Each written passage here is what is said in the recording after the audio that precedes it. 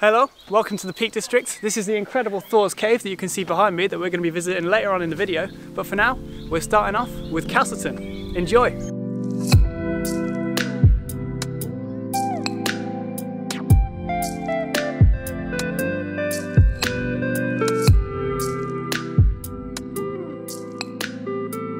Begin today in the village of Castleton, which is my personal favourite village in the entirety of the Peak District. It is a gorgeous village with not only an epic castle but also three famous caves that you can explore as well. And quickly before we begin, I said it in my last video but I'm going to say it again in this video, I have very recently hit 1,000 subscribers so I just want to give a massive thank you to every single person who has subscribed. It really means a lot and if you're watching and you enjoy and you haven't subscribed then what should they do? Subscribe to Alex Subscribe. you always say the same line. But for now, let's begin the video and let's explore Peveril Castle.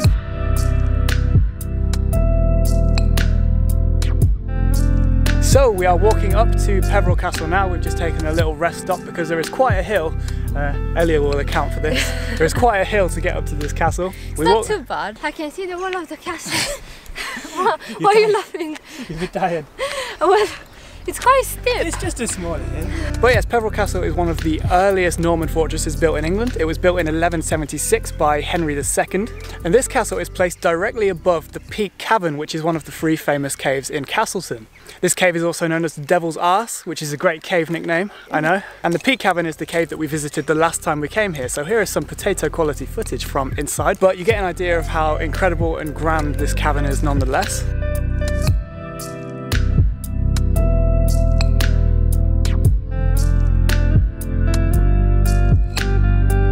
Here is a reconstruction of how this castle would have looked in 1250. It was never really a military castle, but more so a castle used to govern over the Forest of the Peak, as the owner of the Forest of the Peak was William Peveril, hence this castle's name. Need to sit down now, huh?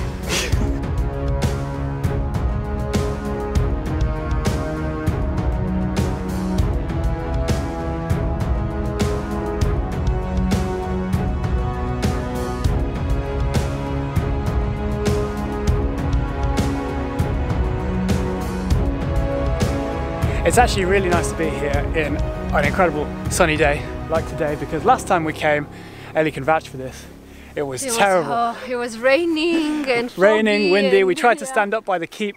You'd barely even stand there. The mountain that you can see just over there is Mam Tor and you probably can't see on the camera, but there are some remains of an old Iron Age hill fort up there. So it shows that this area was home to several attempts to settle here um, and it's probably due to the incredible landscape.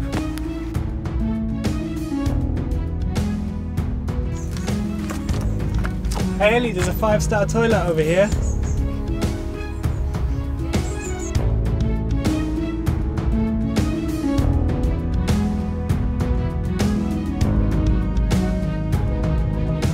And for the final and main part of this castle is the keep.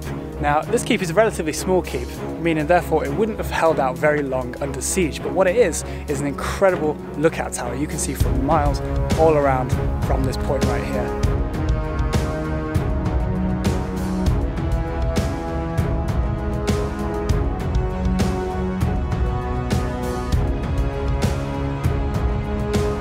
So this keep would have only consisted of two rooms, a very small keep. As you can see, a main chamber would have been on this level and then a basement just down there.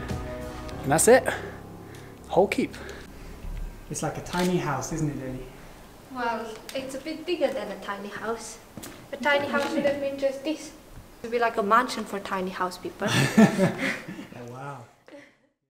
Okay, so that sums up our trip to Peveril Castle. There's also a really nice museum to learn even more about the castle on your visit. And that also sums up our visit to Castleton. And now we are on to possibly the most iconic, picturesque image in the whole Peak District, the view from Bamford Edge.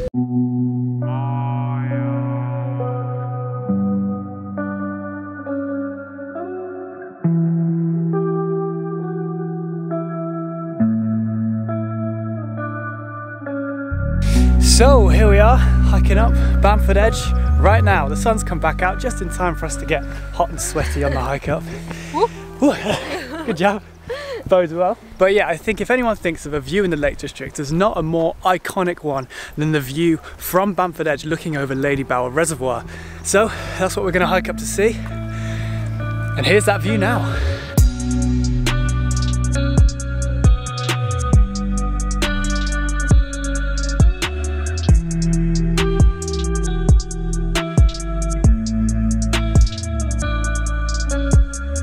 You can park at the nearby road, which you might be able to see off in the distance down there, to hike to Bamford Edge, and it's probably about a one mile hike.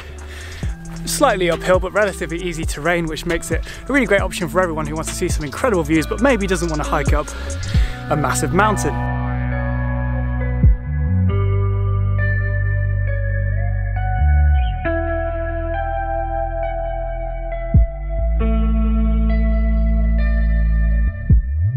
So this is one epic view of Bamford Edge right there.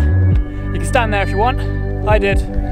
Scary a bit, but yeah, there's just amazing views from up here. It's too bad there's no sunset, that would top it off. This is a very popular place to come in the evening to catch a sunset here, but stick around to the end of the video and we shall hopefully find a sunset at a place called Parkhouse Hill, which I'm also going to suggest. So this is quite a short walk. It's only actually a two mile round trip, and that is if you want to walk all the way to the edge of Bamford Edge. Uh, if you want to make it shorter, you can still see some incredible views. But if Bamford Edge isn't Thor-filled or cave-filled enough for you, the next place we're heading to is going to be just for you because we have a three and a half mile round trip to Thor's Cave.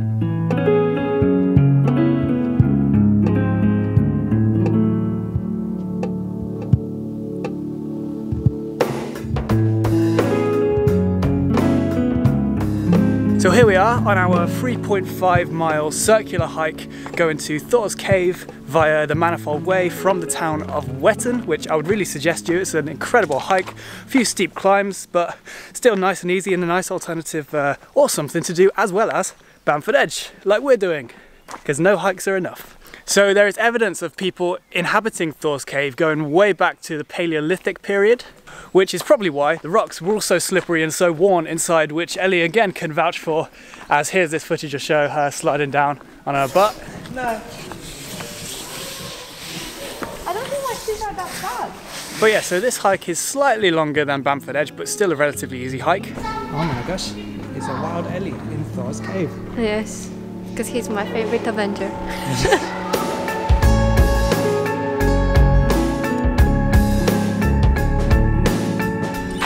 we've now walked down from Thor's Cave. There it is up there. We're now following the River Manifold, which is not really a river at the moment. It's all dried up uh, in the summer. So it's kind of, the walk is very easy. That's a, a good point of it because usually the walk down here would probably be quite wet. But in fact, going back to the history of Thor's Cave, there is evidence that Thor's Cave is used as a Bronze Age burial site. And in terms of the name, Thor's Cave. Some people think that it was named after the famous god of thunder, and others think that Thor's Cave, the Thor probably comes from the word Tor, meaning sort of mountain such as Mam Tor, which is what it's located on. So take your pick. I think I prefer the God of Thunder one, being a Marvel fan, but yes, that is Thor's Cave. Let's continue our hike and uh, see what else we see on this gorgeous route.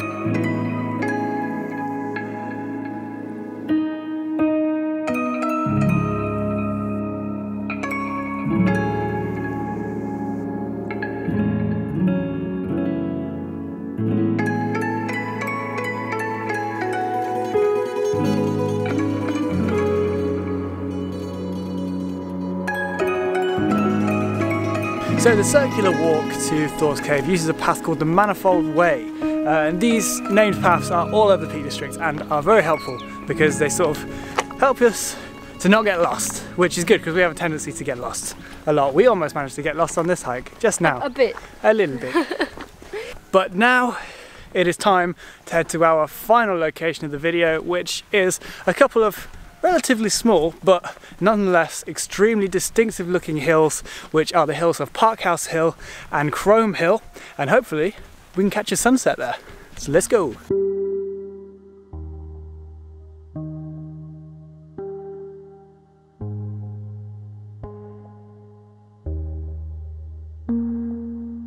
So here we are right now climbing up Chrome Hill. That hill that you can see behind me there is Parkhouse Hill and either hill is a great option especially on an awesome evening with a sunset like that like today to enjoy the sunset and see what we see. So I also found a couple of really great facts about both of these hills that I can entertain you with during our hike up. Firstly, Parkhouse Hill, which is the one behind me, is the remains of a reef knoll during the Carboniferous period when the Peak District was completely covered by sea.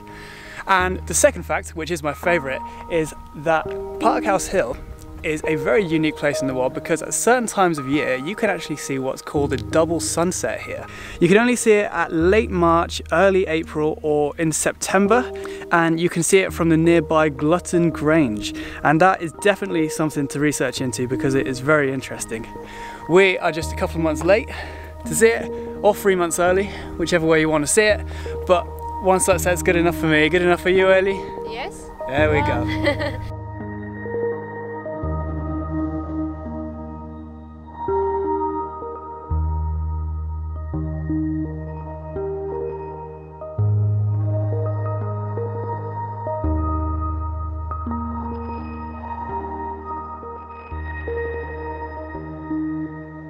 So yes, have the sunset behind us. Thank you very much for watching uh, this video. This sums up the end of our Peak District videos. In the next video we are now heading up to York and then after that we are heading up to Northumberland. So make sure you subscribe, stay tuned for those. And if you haven't already, feel free to check out my previous Peak District video in which we hiked up Kinder Scout. We did some cycling and kayaking all over the Peak District, so I'll leave a link in the description for that one. But for now, thank you very much for watching. Subscribe if you enjoyed, and I'll see you in the next one. Goodbye.